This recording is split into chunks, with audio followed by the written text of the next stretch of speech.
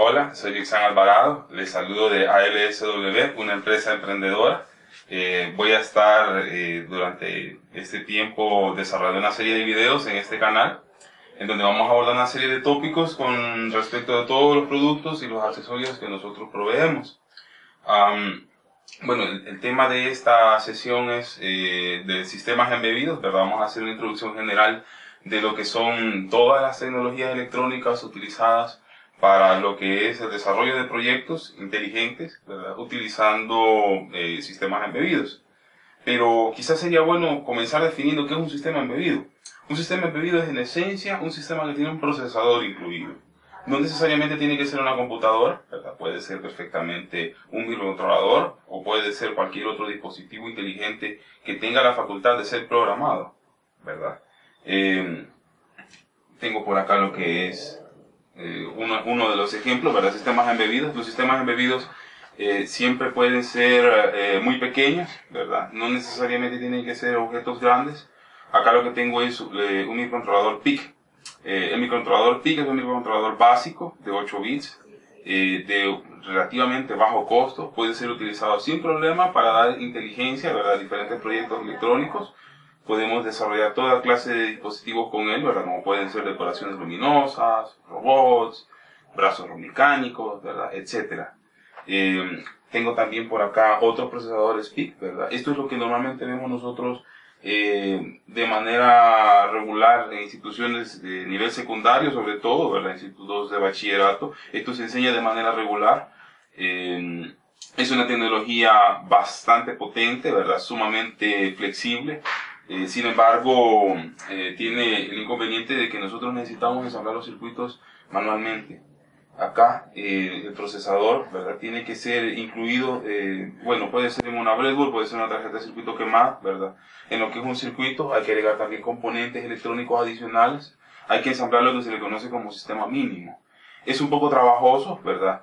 Eh, no es muy amigable para la gente que está iniciándose en los sistemas embebidos. Sin embargo, es una opción sumamente atractiva y económica. Bueno, eso sería por un lado lo que es PIC. Ahora, eh, también, esta sería la manera sencilla de hacerlo, no utilizando los componentes sueltos. Sin embargo, nosotros también podemos recurrir a atajos. Tengo por acá lo que es un entrenador. Esta tarjeta se conoce como entrenador porque básicamente sirven para lo que es el aprendizaje.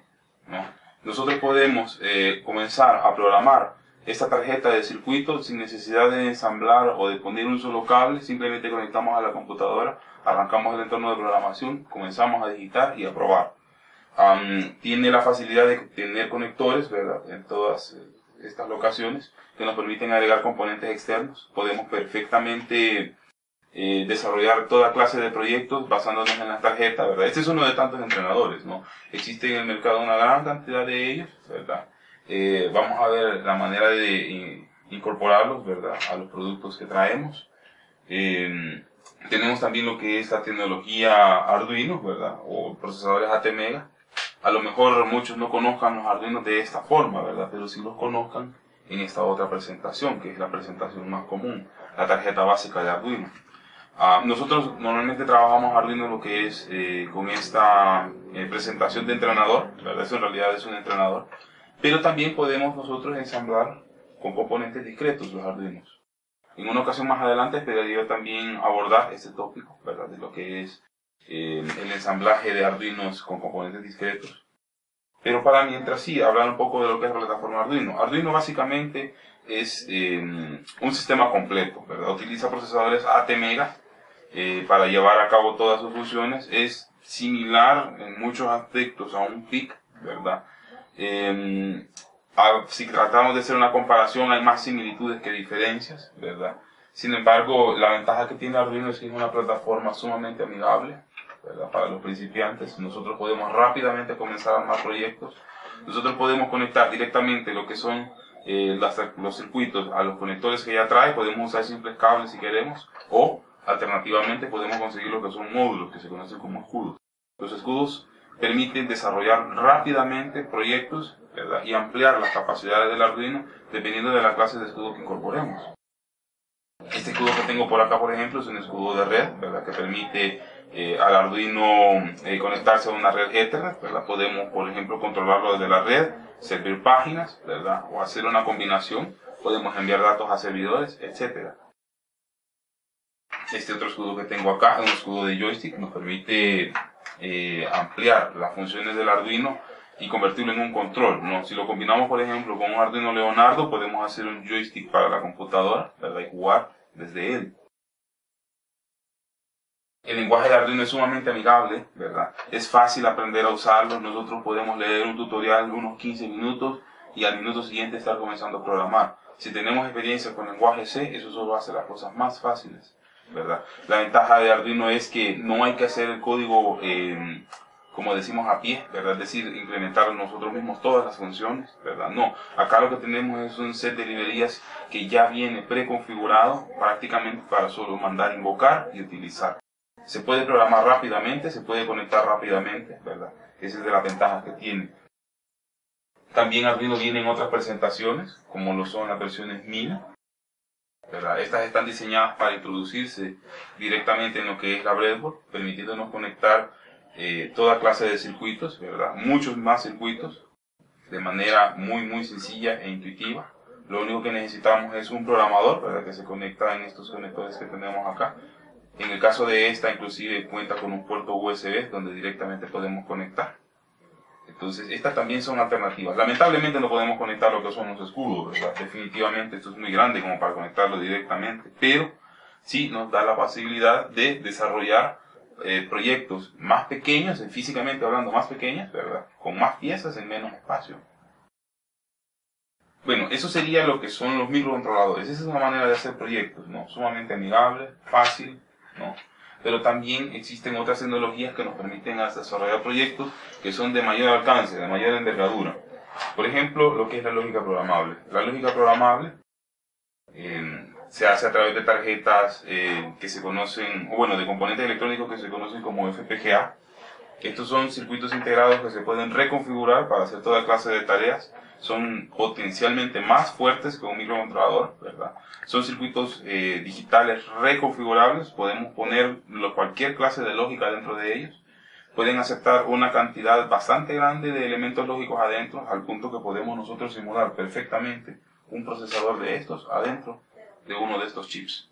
Sumamente flexibles, ¿verdad? Lamentablemente no son muy amigables. Esto es más que todo una tecnología para eh, usuarios avanzados, ¿verdad? Eh, recomendable tener una amplia experiencia en electrónica digital para utilizarlo. Sin embargo, permiten toda clase de proyectos todavía eh, con más alcance que lo que Arduino permite. Por ejemplo, si nosotros necesitamos más de un procesador, es posible colocar más de un procesador, hacer tareas en paralelo para toda clase de electrónica digital compleja, como por ejemplo generadores de, de señal de video VGA, ¿verdad? O generadores de señal PWM para múltiples motores. Yo, por ejemplo, quisiera controlar 30 motores eh, servo desde esta tarjeta perfectamente podría, tiene la capacidad para hacerlo, no se puede hacer con un Arduino, ¿verdad? tiene sus limitantes, tampoco con un PIC, ¿verdad? son también limitados. Entonces, esta es otra manera, ¿no? En que muchas personas desarrollan sus proyectos, ¿verdad? Lamentablemente no vienen en cubiertas amigables, no tengo un FPGA suelto, ¿verdad? Que se pueda poner en una breadboard. Y es porque normalmente vienen en cubiertas de cientos de pines. Entonces, esto nos impide de alguna manera usarlos en breadboard. Necesitamos casi siempre usar un entrenador. Finalmente, de las tecnologías que traigo para mostrar, tengo lo que son las computadoras embebidas. ¿Verdad? Y a lo mejor eh, les resulte muy familiar esta que tengo acá, que es la Raspberry Pi modelo B. estas son computadoras completas, ¿verdad? A diferencia de estos procesadores eh, que solo pueden correr un programa a la vez, el programa que nosotros les coloquemos, eh, la computadora embebida corre un sistema operativo completo, es totalmente multitarea esta en particular eh, corre varias versiones de Linux, ¿verdad? Nosotros podemos correr lo que es Debian, lo que es Fedora, ¿verdad? En sus versiones eh, propias para ella, que se conocen como Raspbian, ¿verdad? Y como PyDora. Eh, lo que es la PC Arduino, ¿verdad? Es también otra computadora embebida que puede correr Linux, ¿verdad? Podemos acá encontrar lo que es Ubuntu, ¿verdad? En su versión Ubuntu. Y también lo que es Arch Linux. Y como adicional, esta también puede correr Android. ¿verdad? En una ocasión más adelante esperaría abordar cada una de esas tarjetas a más detalle, ¿verdad? Permiten toda clase de proyectos, Eh, como pueden ver, nosotros pues, tenemos a disposición lo que son puertos USB, ¿verdad? Y nosotros podemos conectar teclados, mouse, ¿verdad? También contamos con lo que son conectores HDMI para lo que es eh, las señales de video. Si tenemos un monitor HDMI, podemos perfectamente conectar un monitor, ¿verdad? Podemos ocuparla como que fueran computadoras de escritorio. Eh, no son tan potentes como una computadora de escritorio, vale la aclaración, pero sí permiten ser programadas. Podemos montar también lo que es servidores web, ¿verdad? podemos montar proyectos electrónicos eh, de la mismo alcance que Arduino y todavía mucho más, ¿no? Tienen la ventaja de que tienen la capacidad de almacenar una gran cantidad de datos a través de las memorias SD. Acá podemos conectar una memoria SD normal. Acá tenemos eh, también una memoria SD, ¿verdad? Que podemos utilizar para guardar el sistema operativo y para guardar datos de usuario, ¿no? Estas son completamente flexibles, ¿verdad? Se pueden programar en varios lenguajes de programación a diferencia de las otras. Arduino normalmente está restringido a lo que es C++, ¿verdad? Acá podemos ocupar C++ también, podemos ocupar Python, podemos ocupar Lua, podemos ocupar eh, toda clase de lenguajes de programación, ¿no? Java, ¿verdad? Lo que ustedes quieran hacer con ellas, perfectamente es posible. Bueno, y con esto daría fin a lo que es eh, los sistemas embebidos, ¿verdad? Eh, quisiera aprovechar la oportunidad para eh, pedirles que se inscriban a nuestro canal. Vamos a estar subiendo los videos lo que es cada semana, ¿verdad? Eh, también los invito a que visiten nuestro sitio web que es alsw.net, ¿verdad? En la descripción del video van a encontrar los enlaces correspondientes. Y bueno, eso sería todo. Hasta la próxima.